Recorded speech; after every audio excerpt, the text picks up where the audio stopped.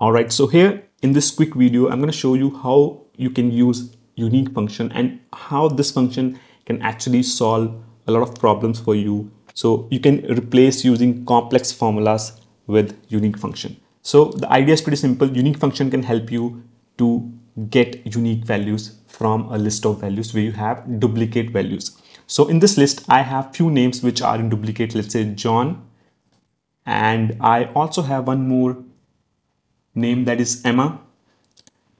So what I want here, I want to have a list of names where I don't want these names again. I just want unique values. So I'm going to enter the unique function.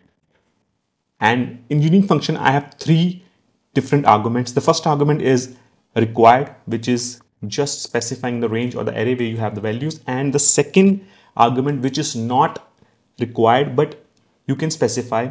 So this argument helps you to define if you want data, unique data from rows or you want unique data from columns.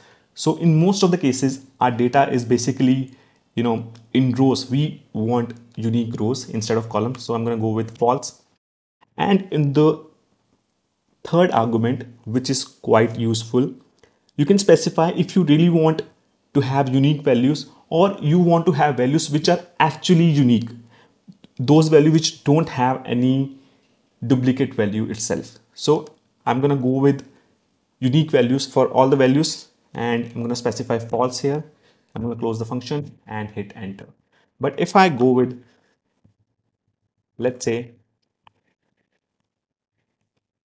instead of false, I'm going to go with true to show you how it works.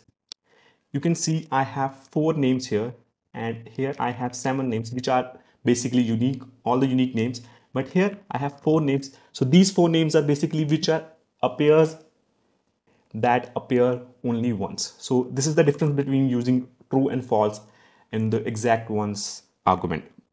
Now moving to the second example, I have the same list here, but now I'm gonna count the unique value. So I will simply use count A and then I'll use unique, select the range, close both of the functions, hit enter, and here I have my unique count of values.